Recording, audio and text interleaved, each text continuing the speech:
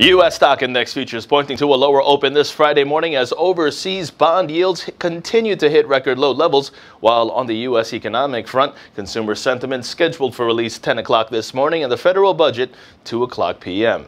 Meanwhile, in the forex market, the U.S. dollar remaining bullish to kick off the session, the euro dollar 0.16% lower, $1.13. Meanwhile, the British pound U.S. dollar pair is 0.44% lower, 143.95, and the U.S. dollar Japanese yen pair 0.12 12% lower, 106.83 yen. Now, Trading Central analysts, they are focused this this morning, that is, on the Australian dollar US dollar pair, which stands below the resistance at 0.7470.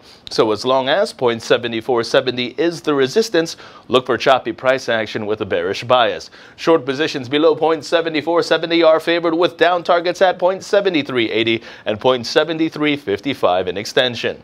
And on to precious metals continuing to see positive results. We first take a look at gold, which is in focus as gold's rising 50-hour moving average maintains the upside bias. A support base forming at 1257 forming and allowing for a temporary stabilization. So long positions above 1257 are favored with up targets at 1276 and 1282 in extension.